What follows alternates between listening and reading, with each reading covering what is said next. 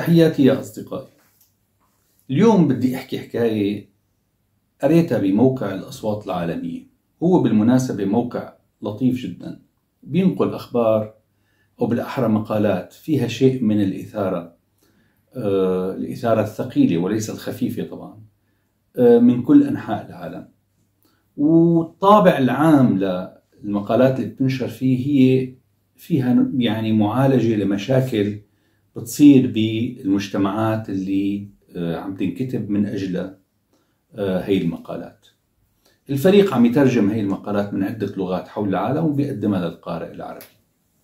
آخر ما قرأت أو بالأحرى آخر ما أثارني بموقع الأصوات العالمية مقال منشور منقول عن كاتبة من جورجيا.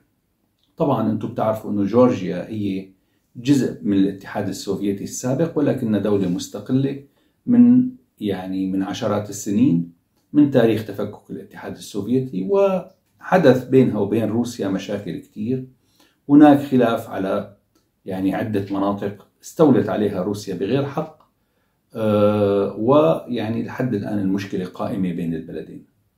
بس المشكلة الأكبر أنا يعني بتخيل بين جورجيا وما بين روسيا إلى علاقة بالتاريخ. التاريخ الخاص بجورجيا وبالناس اللي قدمتهم هي البلد لا الاتحاد السوفيتي واللي بيجي على رأسهم جوزيف ستالين اللي هو قائد الاتحاد السوفيتي من بعد وفاة لينين وحتى آه، بعد الحرب العالمية الثانية بعدة سنوات. هلأ المشكلة القائمة هي بالتاريخ أنه ستالين كشخصية رغم يعني اعتزاز الشيوعيين بتاريخه المجيد ويعني صناعته للنصر ضد ألمانيا النازية لكن هذا الجانب ما لازم يطغى على جانب آخر بشخصية ستالين ألا وهو أنه هو كشخصية هو مجرم بشكل أو بآخر. قتل أو أودى إلى التهلكة بعشرات الملايين من الروس وغير الروس من مواطني الاتحاد السوفيتي السابق. فقط لنعرف معلومة أنه ستالين أرسل إلى سيبيريا وإلى يعني آه، آه، حفلات الإعدام بالرصاص. عشرات لا بل مئات لا بل آلاف من كوادر روسيا والاتحاد السوفيتي المتميزين بالثقافة وبالعلم وبالفنون وحتى بالسياق العسكري. وهذا تاريخ ستالين معروف. يعني الشخصيات مثلا مثلا القائد اللي يعني أنجز انتصار الجيش الأحمر على جيش آه، القيصرية أودى به إلى التهلكة. أعدمه. طيب تتذكروا كمان تروتسكي اللي هو يعني كمان كان جزء من تركيبة النصر على القيصرية كمان لحقوا بعث له واحد قتله بالمكسيك. خلينا نرجع للموضوع مشان ما نستطرد لأنه رح يكون في حديث هلأ عن آه، ستالين ضمن السياق. هلأ القصة اللي نشرها موقع الأصوات العالمية متعلقة بأيقونة. هي الأيقونة يعني تم آه، وضعها بكاتدرائية سامبا للثالوث المقدس بتبليسي اللي هي عاصمة جورجيا. ضمن هي الأيقونة المكرسة لماترونا موسكو اللي هي قديسة على جنب في كادر صغير موجود فيه صورة مرسومة رسم لشخص آه، يعني آه، بيلبس الزي العسكري هو ستالين. إلى جانب القديسة ماترونا. يعني دخل ستالين حيز المقدس في له صورة جنب القديسة. هلأ هذا يعني هو الأساس اللي عم نحكي فيه نحن والنقطة الأساسية بحديثنا لليوم. طبعا بجورجيا لا يمكن أن تمر هي القصة يعني مرور الكرام والناشطين اللي عندهم نظرة نقدية تجاه التاريخ ونظرة نقدية تجاه آه، الأشخاص اللي بيقدسوا هذا التاريخ دون ما ينظروا فيه ويشوفوا الكوارث التي صنعت في هذا التاريخ ما رح يمرقوا هي القصة ب يعني بسهولة. وهذا اللي صار حقيقة. أثيرت ضجة كبيرة جدا حول صورة ستالين الموجودة بالأيقونة آه، طبعا أنتم رح تشوفوها هلأ على جنب. القصة أبعد بكثير من مجرد أيقونة.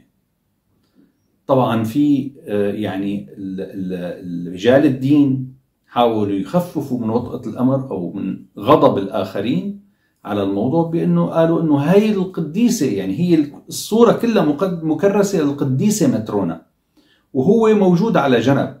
بس هذا ما بينفي أنه يعني ستالين موجود بالأيقونة. آه هذا الكلام طبعا الاحتجاج بحد ذاته ولد ردة فعل كمان غاضبة من قبل اليمين المتطرف الجورجي اللي هو بيشوف إنه هذا جزء من التاريخ وكذا وكذا وإنه أنتم يعني يا ناشطين أنتم عم تعرضوا تاريخنا للسخرية وكذا وكذا وغضب. هلأ آه، كيف انتهت القصة؟ يعني لسه في تداعيات والقصة بجوز إنه يعني آه، ما تنتهي بهذا الشكل البسيط. أنه مجرد هي أيقونة. هلأ أنا ليش عم بحكي عن الموضوع؟ عم بحكي لأنه أو ليش لفت انتباهي يعني حقيقة؟ لأنه الملامح هي التقديسية لزعيم آه، قاتل أوكي انتصر ضد النازيين يعني قاتل انتصر على قاتل آخر بس هذا ما بينفي إنه هو قاتل.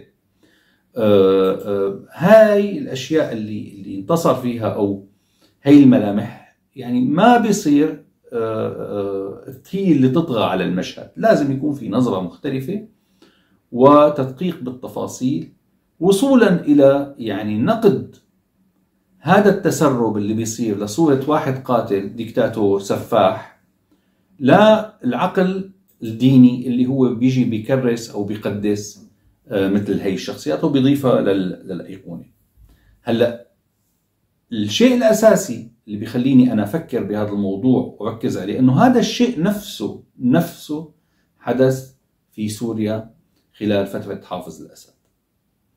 والحمولة بذاتها حمولة هذا الدكتاتور اللي هو يعني بيوصل لمرحلة إنه هو بي بي يعني بي بإشارة من أصبعه بيقتل آلاف وبيحيي آلاف.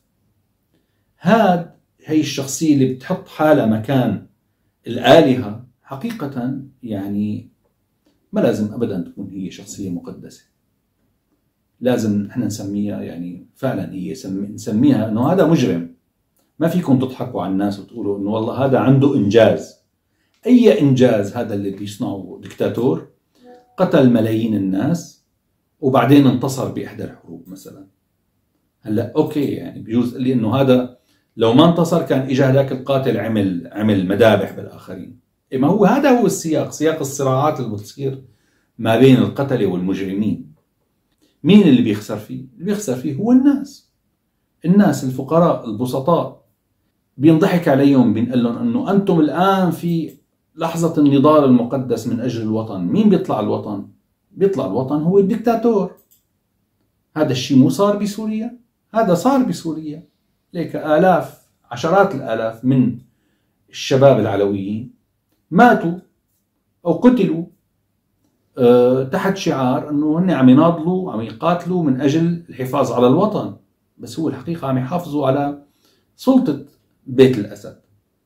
هلأ صورة هذا اللي اللي الزعيم اللي بي بيقتل بدون حساب شفناها عدة مرات. شفناها لما رفعت الأسد قال إنه هو عنده استعداد يطهر سوريا ويقتل آه، مليون شخص. تمام؟ وقال إنه يعني هو ما, ما لا يخشى شيئا يعني. وتكررت لاحقا بفتره الثورة السورية لما جميل حسن رئيس فرع آه، المخابرات الجوية قال أنا عندي استعداد أقتل مليون واحد وروح على المحكمة الدولية ولا أخشى شيئا. يعني حدا عم يقول لك إنه أنا مشان صباطك يا بشار الأسد عندي استعداد أقتل مليون بني آدم وأنا بروح على المحكمة عنك. شوفوا شوفوا التركيبة هي يعني كيف كيف آه، آه، قائمة بالفضاء اللي بتصنعه هي الشخصيات شخصية الدكتاتور وسلطته على الآخرين و تحويل الآخرين إلى ملحقين فيه. هلأ هذا هذا الدكتاتور بيتحول إلى شخصية مقدسة. وأنتم بتعرفوا فكرة عبادة الفرد اللي هي أصلا أصابت أصابت الفكرة الشيوعية في مقتل أنه لما تولى الشيوعيون السلطة تحول الأمين العام للحزب إلى شخصية مقدسة وصار في عبادة للفرد. أنت ما فيك تقرب أبدا تجيب سيرة الزعيم الدكتاتور. وإذا جبت سيرته أنت آه، آه، تعرض نفسك للقتل لأنه ما بيصير أنك أنت تنتقد الزعيم. إذا بدكم تشوفوها للقصة على يعني بشكل كتير واضح شوفوا الأفلام اللي بيظهر فيها زعيم كوريا الشمالية لما بيمر بين الناس. شوفوا البكاء شوفوا يعني السجود التمسح فيه. هي قصة عبادة الفرد. عبادة الفرد في سوريا صارت مو بس عند يعني حافظ الأسد كمان صارت في الحزب الشيوعي السوري. لما بلحظة من اللحظات صار خالد بقداش هو الشخصية يعني غير القابلة للانتقاد. طبعا خالد بقداش وغيره طبعا من زعماء الأحزاب الشيوعية كان بذهنهم تمثل شخصية ستالين. شخصية الدكتاتور أو القائد اللي هو صاحب الأمر والنهي بكل ما يجب. هلأ بسوريا بال 73 وبعد ال 73 اجى وزير إعلام اسمه أحمد إسكندر أحمد آه يعني هو اللي كرس فعليا من خلال وسائل الإعلام مساله عبادة الفرد وتقديس أو المضي في حالة تقديس حافظ الأسد. وصلنا لمرحلة إنه يعني ما فيك تقرب ابدا ما فيك تجيب سيرة حافظ الأسد. و إذا جبتها أنت ومعارض معناتها أنت بدك تنحبس. أما إذا جبتها وأنت أصلا من حاشية السلطة فهذا يعني إنك أنت ممكن تموت. يعني آه، آه، موقع الزعيم. موقع الدكتاتور غير قابل للمساءلة غير قابل للتفكير يعني لمجرد التفكير في الأمر أنت ممكن تموت. وهذا حقيقة عبر عنه بالروائي فواز حداد برواية السوريون الأعداء. لما شخصية المهندس بيخطر على باله من أجل الحفاظ على النظام أنه ممكن يتم التخلص من الدكتاتور لمجرد فكرة طرأت في دماغه يلقى مصيره اللي هو الموت. هلا بدي ارجع ل ل لجورجيا بدي أقول انه النظرة النقدية تجاه الدكتاتور مع الزمن بتتفكك. تتفكك لكن اللي بيقوموا فيها بي بيتعرضوا للأذية كمان يعني. يعني رح أعطي مثال آه أنه هاي النظرة حقيقة اللي شافت الأثر المفزع القاسي والإجرامي لسلطة الدكتاتور على المجتمعات مثالهم مثلا المخرج الجورجي تنجيز أبو لاتزا اللي عمل ثلاثية فيلمية كان آخرها فيلم اسمه الندم. فيلم الندم طلع بعام 1984 آه، لكن لم يسمح بعرضه إلا في عام 1991 أو 92 بعد انهيار الاتحاد السوفيتي. وتفكك سلطة الحزب والبدء بالمراجعة القاسية للأفعال الإجرامية اللي عملتها الدوائر الثقافية التابعة للحزب الشيوعي السوفيتي. فيلم الندم بيحكي عن فكرة خطيرة جدا ويعني تنطبق على مجتمعنا السوري بشكل أو بآخر. عندما يموت رئيس ما رئيس بلدية مختار بتكون ملامحه مثل ما بتشوفوا هلأ بالصورة.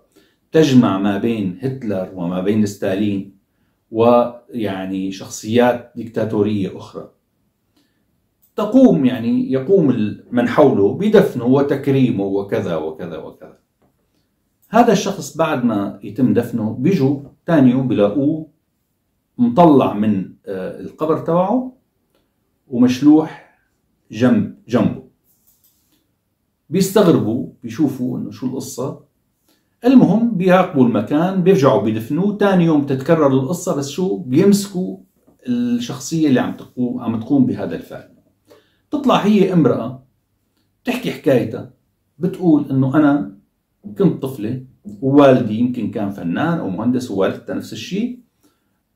اعتقلهم الزعيم واختفت اخباره طبعا هذا انعكاس وصدى للي عمله ستالين بسنوات السنوات القبيحة والسوداء في تاريخ آه، آه، سيطرة الحزب الشيوعي السوفيتي على على الاتحاد على مجمل بلدان الاتحاد السوفيتي بال 37 ل 39 لما تم إعدام عشرات الملايين من الكوادر اللي حكينا عليهم. ما قامت به هاي الشخصية يجب أن تتم معاقبتها عليه بأنه تضل الحقيقة موجودة وهي رمزية إظهار الجثة وعدم تلويث الأرض بهذه النجاسة بالمعنى يعني. لأنه هذا الفعل هو لا ينتمي للسياق الإنساني والحضاري.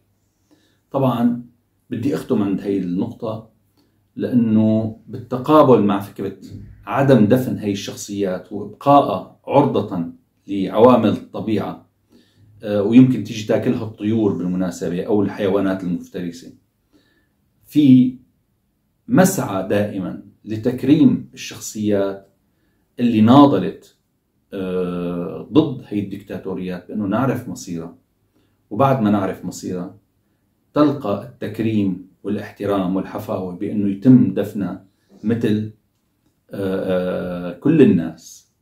ولهذا ولهذا بالإضافة لأسباب تانية كتير مسألة معرفة مصير المفقودين اللي ناضلوا ضد نظام الأسد الإبن خلال السنوات الماضية. تبدو لي مسألة كتير مهمة ويجب ألا نتوقف عن السعي من أجلها. اليوم كانت محاولتي لدمج الثقافة بالسياسة وهذا الشيء أنا كتير بشتغل عليه. ويعني أحببت فعلا أنه الحديث اليوم يكون ثقافي ولكن يعني مثل ما نكون شايفين ما في ثقافة معقمة من السياسة. بتمنى إذا عجبكم هذا الحديث أنكم تشتركوا بقناة مترو سوريا وتفعلوا آه، زر الجرس مشان يوصلكم كل جديد. بدعمكم أنا ممكن أستمر وممكن نستمر بهذا المشروع. وشكرا لكم.